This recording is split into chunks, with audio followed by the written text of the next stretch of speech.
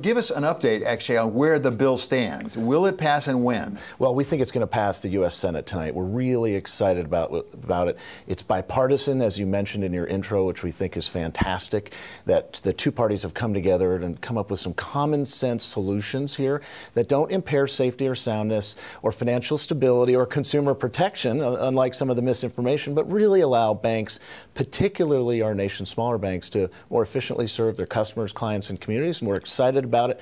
Talked to the Senate leadership earlier today, and it's looking like later this afternoon or this evening we could see it pass the U.S. Senate by a big bipartisan majority. So I want to get into some of the substance, what it does do and what it doesn't do. Before that, stick with process for a moment. There's a House version, which is mm-hmm. different from what is likely to come out of the Senate. Right. What is the issue of reconciliation? How can you put the two of them together? So they're still talking about whether it'll be a formal or informal reconciliation process. What's probably going to happen over the next several days, we'll see the Senate bill pass tonight uh, or later today.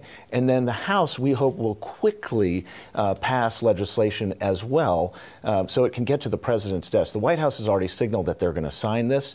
You know, we'd like this to happen sooner versus later, though Chairman Hensarling has been obviously working on financial regulation and modern, modernization for a long time. So he's interested in, in getting some House imprint on the product. We just want this whole process to move as quickly as it can. I won't ask for a guarantee, but a prediction. What is sooner? What do you think? A week, a month, two weeks? What, what ideally? Ideally, uh, in a utopia, David, we are the president signing something to law before Easter, but certainly it could slip into, in, into May.